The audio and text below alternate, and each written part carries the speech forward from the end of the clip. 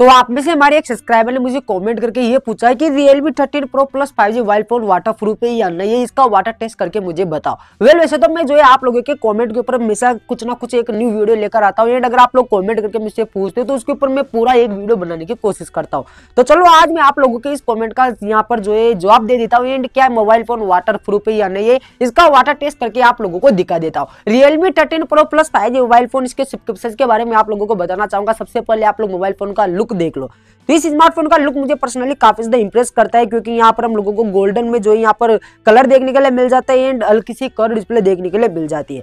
इसकी डिस्प्ले वाकई में काफ़ी ज़्यादा next level and five G network का सपोर्ट हम लोगों को देखने के लिए मिल जाता है। अगर इसी के साथ अगर हम बात करें इसके कैमरे क्वालिटी के बारे में सो मैंने इसके ऊपर एक प्रॉपर वीडियो बनाया हुआ है, जहाँ पर मैंने इसकी कैमरा टेस्टिंग करी थी। एंड इसका कैमरा क्वालिटी एकदम नेक्स्ट लेवल है। रियलमी के मोबाइल फ़ोन काफ़ी ज़्यादा बढ़िया क्वालिटी के साथ आते हैं। एंड इस चीज़ से मैं एग्री करता हूँ। एंड आप लोगों को भी एग्री करना पड़ेगा। अगर आप लोगों के हाथ में कोई रियलमी का मोबाइल फ़ोन है ना तो यार चैनल को सब्सक्राइब कर दो वीडियो को लाइक कर दो, क्योंकि मेरे पास भी यहाँ पर दो दो रियलमी के फ़ोन है, एक और दूसरा।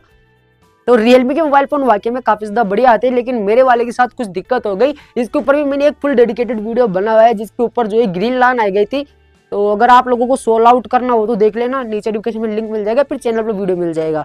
बाकी बात करते हैं इस स्मार्टफ़ोन के बारे में, Realme 13 Pro Plus 5G mobile phone अब इस स्मार्टफ़ोन के बारे में बात की जाए तो यहाँ पर हम लोगों को क्यूआलकॉम स्नैपड्रैगन 7 जेन 2 का फ़र्स्ट देखने के लिए मिल जाता है, आठ जीबी रैम प्लस यहाँ पर हम लोगों को जो है दो सौ छप्पन जीबी का इंटरनल स्टोरेज देखने के लिए मिल जाता है। इस स्मार्टफ़ोन में हम लोगों को आईपी रेटिंग भी देखने के लिए मिलती है, जो कि हम लोगों को बताती है कि ये मोबाइल फ़ोन वाटर प्रूफ तो इस स्मार्टफ़ोन में हम लोगों को आईपी सिक्स फाइव की रेटिंग देखने के लिए मिल जाती है, जो कि हम लोगों को बताते हैं कि मोबाइल फ़ोन हल्का फुल्का वाटर प्रूफ है, यानी कि पूरा वाटर प्रूफ नहीं है। लेकिन हम थोड़ी ऐसे मानेंगे, हम तो मोबाइल फ़ोन की वाटर टेस्टिंग करेंगे एंड आप लोगों को दिखाएँगे, तब आप लोगों को यकीन होगा कि मोबाइल फ़ोन वाटर प्रूफ है या नहीं है। तो चलो यार, करते मोबाइल फ़ोन की वाटर टेस्टिंग ये रहा मेरे हाथ में Realme thirteen Pro Plus five mobile phone जिसको मैं डाल देता हूँ, पानी में। अभी जो है पानी में चला गया तब तक आप लोग चैनल को सब्सक्राइब कर सकते हो बेलाइकन को ऑन कर सकते हो वीडियो को लाइक कर सकते हो इंस्टाग्राम पर ट्विटर पर या फिर फेसबुक पर व्हाट्सएप पर हम लोग बातचीत कर सकते हैं तो उनके लिंक आपको नीचे डिस्क्रिप्शन में मिल जाएँगे।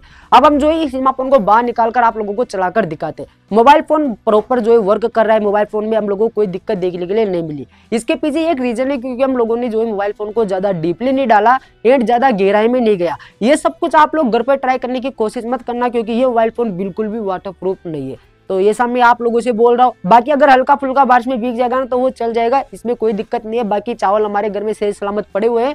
अगर आप लोगों का मोबाइल पानी में भीग जाता है ना तो उनको चावल के अंदर मत डालना। कितनी बार बोलू आप लोगों से, इसका मोइसर अच्छी तरीके से गायब हो जाए। इसके लिए आप लोगों को एक हल्का सा टावल लेना है।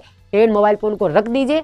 एंड इसके बावजूद अगर मोबाइल फ़ोन में आप लोगों को थोड़ा बहुत मोइस्चर दिखता है तो आप लोग जो है यहाँ पर ड्रायर ले सकते हो। एंड उससे जो है क्लीन कर सकते हो। बाकी ऊट पटांग गरगते बिल्कुल बंद कर दीजिए। एंड अगर आप लोग अप टू डेट रहना चाहते हैं इन सब टेक्निकल चीज़ों के बारे में तो चैनल को सब्सक्राइब कर लीजिए। मिलते हैं हमारे अगली वीडियो में, तब तक के लिए बाय बाय नमस्कार, जय हिंद, जय भारत।